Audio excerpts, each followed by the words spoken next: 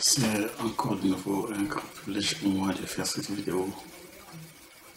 Et l'objectif de cette vidéo, je voudrais faire un résumé par rapport à la polygamie lorsqu'on parcourt dans la Bible. Quelles sont les personnes qui avaient plusieurs femmes dans la Bible? Et dans la vidéo, première vidéo que j'avais fait sur la polygamie, j'ai montré que la doctrine de polygamie n'est pas une doctrine biblique. Pourquoi ce n'est pas une doctrine? Parce qu'il n'y a aucun verset dans la Bible que vous pouvez lire et prêcher sur la polygamie. Dieu n'a jamais institué la polygamie, mais il a laissé faire. C'est ça la volonté permissive, la volonté parfaite de Dieu. Il avait créé Adam et Ève. Si Dieu ait voulu que Adam puisse avoir plusieurs femmes, il aurait créé plusieurs femmes dès le premier jour. Mais le fait que Dieu ait créé Adam et Ève, cela exclut toute possibilité de polygamie. Et je vous ai fait lire dans les textes de 1 Corinthiens chapitre 7, le verset 2. En anglais, c'est plus clair. Il est dit, let every man have his own wife and let every woman has her own husband.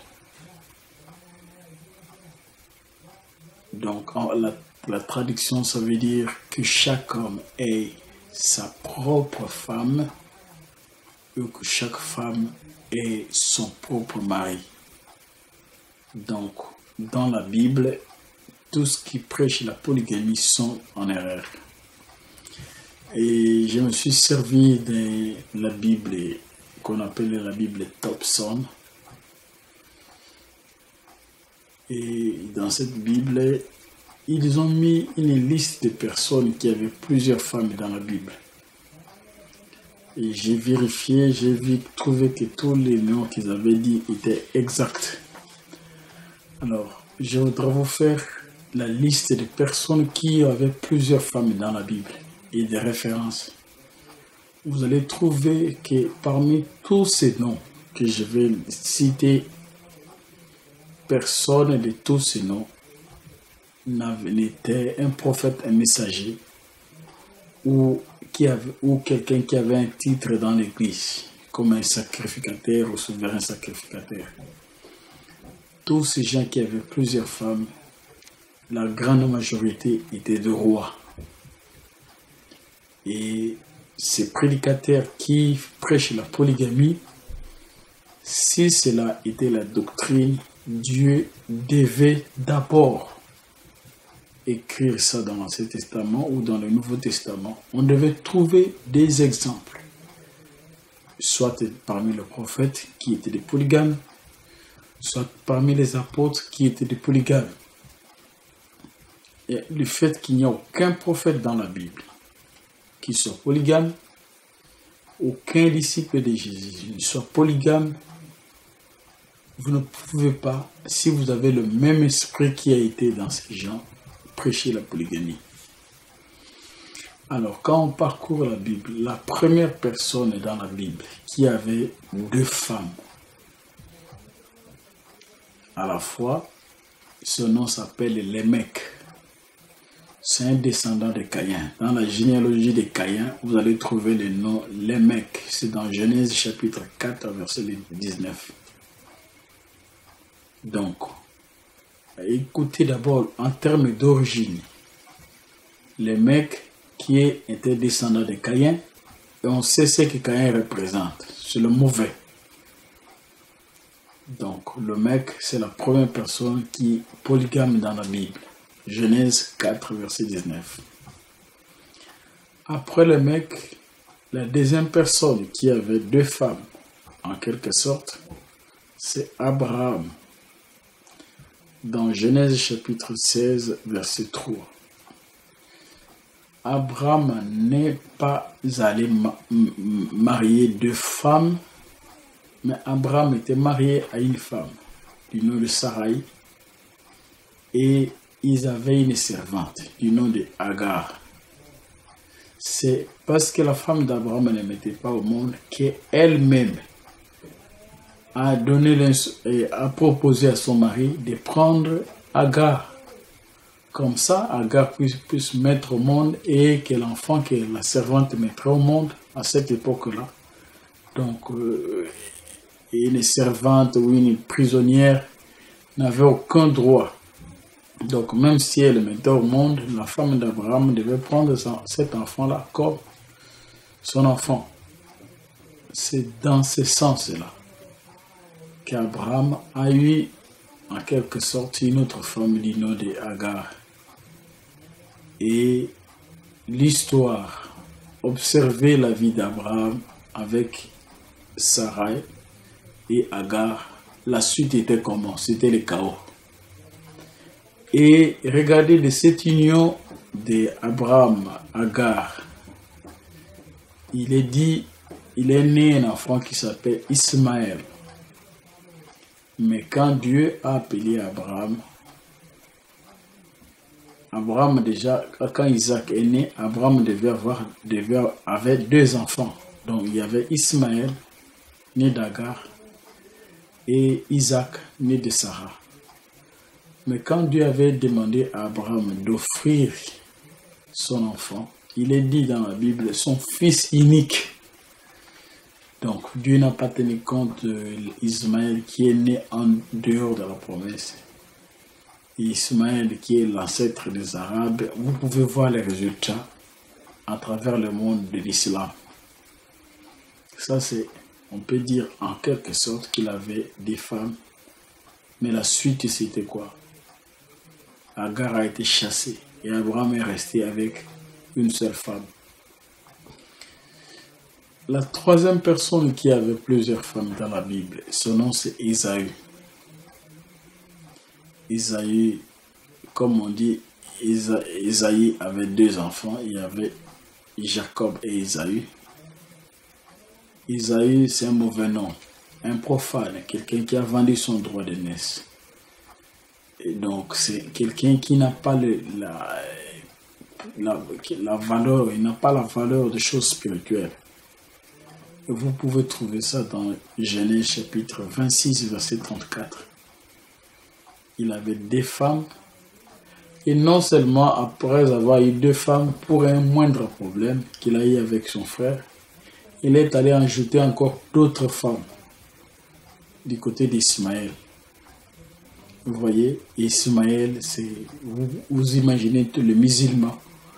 Esaü, c'est tout simplement quelqu'un de ce n'est pas une bonne personne. Quelqu'un d'autre qui avait plusieurs femmes, c'est le nom de Jacob. Jacob dans Genèse 29, verset 28. Mais son cas doit être compris. Il avait besoin de marier une seule femme du nom de Rachel. Et comme on dit, comme on le dit, c'est que vous voulez faire pour les autres, faites-les. Ce que vous voulez qu'on fasse pour vous, faites-le aussi pour les autres. Lui qui est supplanteur, le menteur, après avoir détourné la bénédiction de son frère, il est allé se marier. Alors il voulait se marier à Rachel. Et de la même façon que lui a trompé les gens.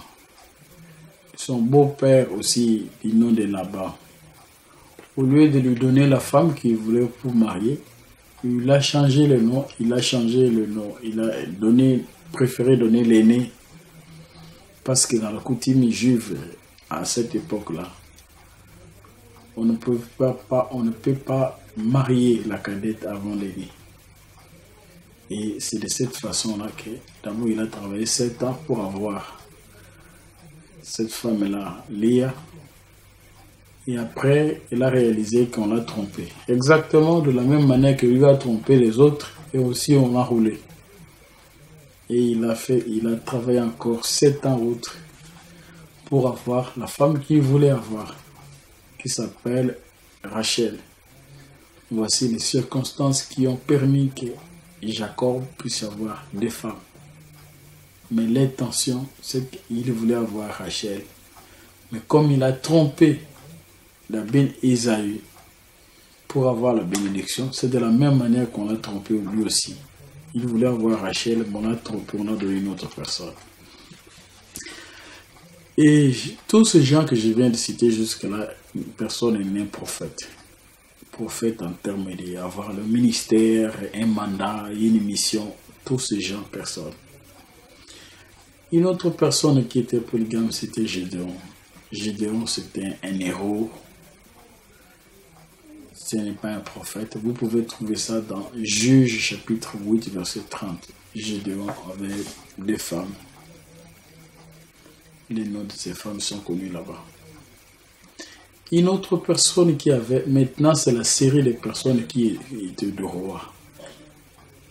Dans 1 Samuel chapitre 1 verset 2, il y a le nom de Alcana. Le monsieur Alcana, on dit que cette personne avait des femmes. Le nom de l'une était Anne et l'autre Pénina c'est Anne qui était la stérile, qui devint plus tard, par la grâce de Dieu, la maman de Samuel, le, petit prophète. Donc, le monsieur là, on ne donne pas de, de, qualité, il était qui? On dit tout simplement, il était habitant de tel lieu, il avait des femmes. Et on est allé dans l'histoire de sa femme là, Anne, qui était stérile, que Dieu a exaucé sa prière. Une autre personne qui était polygame dans la Bible, c'est dans, dans 2 Samuel chapitre 3, verset 3. C'est David. David était un roi. Il était poète. Il n'était pas un prophète. Une autre personne qui avait plusieurs femmes, c'est Salomon, son fils. Dans 1 roi chapitre 1, chapitre 11, le verset 3. Salomon était roi. Une autre personne dans la Bible qui avait plusieurs femmes, ça se trouve dans 1 Chronique chapitre 4 verset 5. Son nom c'est Ashur. C'est un descendant de la tribu de Juda. On ne connaît pas qui était cette personne, on dit tout simplement cette personne avait des femmes. Un autre roi qui avait plusieurs femmes, c'est le roi Roboam. Vous allez trouver ça dans Des Chroniques chapitre 11 verset 18. Il était roi. Un autre, un autre roi qui avait plusieurs femmes, c'est Des Chroniques chapitre 13 verset 21. Le nom du roi était Abijah. Un autre roi qui avait plusieurs femmes, c'est le roi Joas dans Des Chroniques chapitre 24 verset 3. Et, le dernier verset qui parle d'un homme qui avait plusieurs femmes, c'est dans Daniel chapitre 5, le verset 2. Le nom de ce roi s'appelle Bel, Belchastar.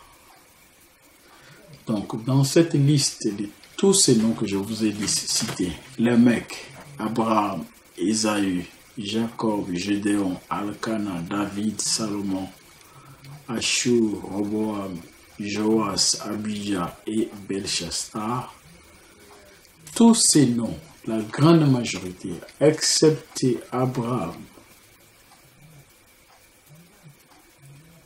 Isaïe, Jacob et Gédéon et Alcana, aussi Ashur, tout le reste la grande majorité de ces gens étaient des rois. Il n'y a aucun prophète. Oh, Daniel était polygame, ça ne se trouve pas. Oh, Ézéchiel était polygame, on ne trouve pas ça dans la Bible. Oh, Joël était polygame, on ne trouve pas ça dans la Bible. Oh, Agé était polygame, on ne trouve pas ça. Voici les exemples de personnes qui sont citées dans la Bible qui étaient des polygames. tous ces gens, les mecs, en commençant par le père des polygames, qui est le mec, un descendant de Caïn.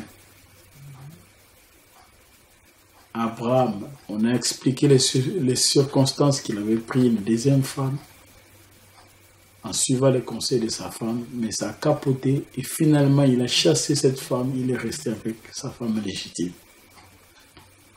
Isaïe, on a parlé des circonstances, c'est quelqu'un qui n'a pas le sang, c'est un charnel, il n'a pas la compréhension des choses spirituelles. C'est pourquoi il a même raté, vendu son droit d'aînesse. C'est un mauvais nom, Isaïe. Du même type Ismaël on a expliqué les circonstances qui ont fait que Jacob puisse avoir des femmes. On a lui-même a trompé les gens. C'est pourquoi aussi on l'a trompé. Gédéon n'était pas un prophète. Alcana n'était pas un prophète. David n'était pas un prophète. Quand bien même par l'inspiration de ses, de ses cantiques, il pouvait prophétiser, mais il n'était pas un prophète. Salomon malgré toute la sagesse qu'il avait, il n'était pas un prophète, il était un roi. Ashur, qui était, avait aussi plusieurs femmes, n'était pas un prophète. Roboam n'était pas un prophète, c'était un roi. Joas n'était pas un prophète ou un prédicateur, ni un souverain secret. Donc, tous ces noms, le Belshazzar ici, il n'était pas ni un souverain sacrificateur, ni un prophète c'était du roi. Si la polygamie devait être une doctrine, Dieu devait d'abord manifester cela, un, en écrivant dans la Bible. Le mot polygamie ne se trouve pas dans la Bible. Et les personnes qui avaient plusieurs femmes dans la Bible, on peut les, j'ai donné leur nom, la grande majorité, à 90%, c'était de rois des exemples dans la famille d'Abraham, avec Abraham lui-même et avec Jacob, les circonstances. C'est différent de quelqu'un qui a décidé de marier plusieurs femmes, parce qu'on l'a trompé. Abraham aussi, c'est sa femme. Lui n'avait pas l'idée de marier Agar. Et la suite, c'est que ça a capoté. Et parmi tous ces rois qui avaient plusieurs femmes, il y a un constat qui est unique à la fin de leur vie, ils finissent tous par se détourner de la parole de Dieu et servir Dieu, le Dieu de leur femme. C'est ça le constat. Tous ces gens qui avaient plusieurs femmes, il n'y a personne qui, qui soit un modèle à la fin de sa vie. Et Dieu même avait interdit au roi, vous pouvez lire ça dans, dans Deutéronome chapitre 17, qui un roi ne devait pas avoir beaucoup de femmes. Parce que Dieu savait que si vous avez beaucoup de femmes, vous serez influencé au nom de l'amour à servir les dieux de, des femmes, femmes étrangères. Et il est très important de mettre toutes choses dans le contexte. Il n'y a aucun, même les personnes qui se marient de mariage co-sanguin au sein de la même famille, depuis que Dieu avait créé Adam jusqu'à Moïse, les gens pouvaient se marier dans leur propre famille, comme Abraham qui avait marié sa femme Sarai. Ils sont de la même famille. Et dans la Bible, on peut trouver plusieurs, même Jacob, qui est allé marier, marier Rachel et Léa ce sont de, la même famille, sont des descendants d'une même famille. Les liens parentaux sont, sont euh, courtes. Et quand Moïse est arrivé dans le livre de Lévitique chapitre 18, vous pouvez lire à partir du verset 11, Dieu a interdit désormais le mariage consanguin est interdit. Et même sur le plan scientifique, si vous prenez le porc par exemple, le porc mettent au monde, et vous prenez le mâle sorti de l'ancêtre commun de ce porc-là, vous le couplez avec les autres, parce qu'ils sont du même sang, vous allez trouver que l'espèce qui va la génération future ne va pas durer, ça va mourir. Ça, c'est dans, dans, la vie courante ici. C'est pourquoi vous allez trouver que même chez les éleveurs, quelqu'un a ce bœuf, par exemple, il va préférer changer le mâle. Une fois qu'ils ont mis au monde, il va préférer prendre le mâle d'ailleurs pour avoir une variabilité. Parce qu'ici, la même au niveau de, du gène, le, le mariage co-sanguin entraîne une dégradation des gènes. Et Dieu a interdit, connaissant toutes choses, Dieu a interdit le mariage co-sanguin. Donc, vous pouvez lire au travers de tous ces exemples que j'ai donnés dans la Bible. Il n'y a aucun prophète qui était polygame. Il n'y a aucun apôtre qui était polygame.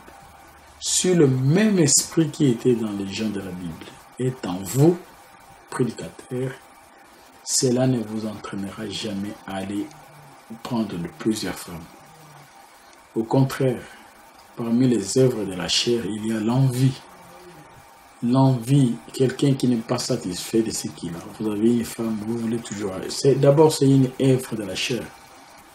Le modèle, si Dieu a voulu que les gens soient polygames, il aurait manifesté dans la vie des apôtres, des apôtres polygames, le, prophète polygame.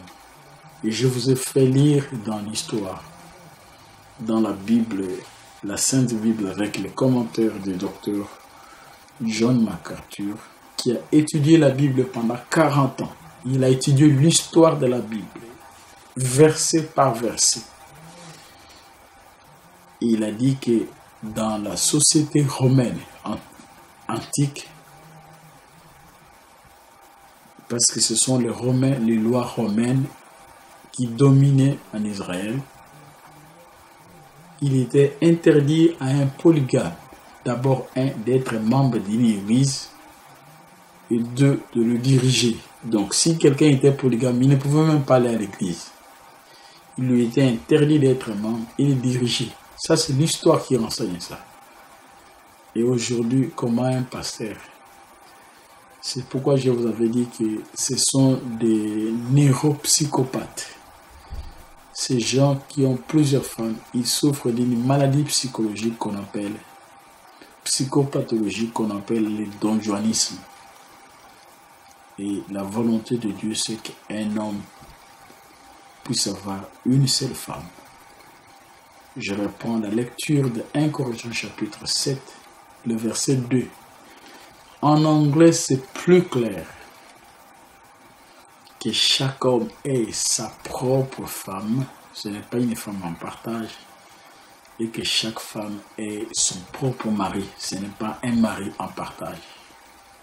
En anglais, c'est bien dit. Si en français tu as du mal, c'est pourquoi le docteur MacArthur a dit que pour comprendre la Bible, la première parmi les forces qu'il faut combler pour avoir une bonne compréhension, c'est la langue. On dit que chacun est sa femme, chaque homme est sa femme, et que chaque femme est son propre mari.